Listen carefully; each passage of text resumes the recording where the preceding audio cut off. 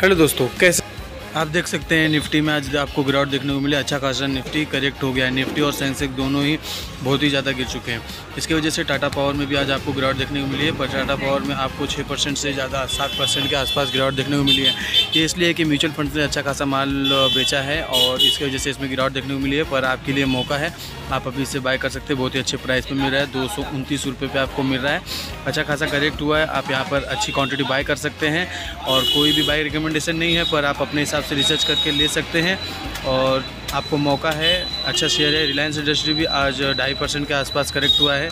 इसमें भी आप चाहे तो ले सकते हैं। आप देख सकते हैं इन्फोसिस इन्फोसिस आज अच्छा खासा मतलब इसमें तेज़ी देखने को मिली है क्योंकि बहुत दिन से करेक्ट हो रहा था। और आईटी सेक्टर अब शायद घूम पे आएँगे। और विप्रो विप्रो भी सुबह अच्छा खासा बड़ा था, पर अभी करेक्ट हो गया है। फिर भी इसमें ज़्यादा गिरावट देखने को नहीं मिली। आप इसको ले सकते हैं, ये सब आपको अच्छे प्राइस पे मिले thank you for watching guys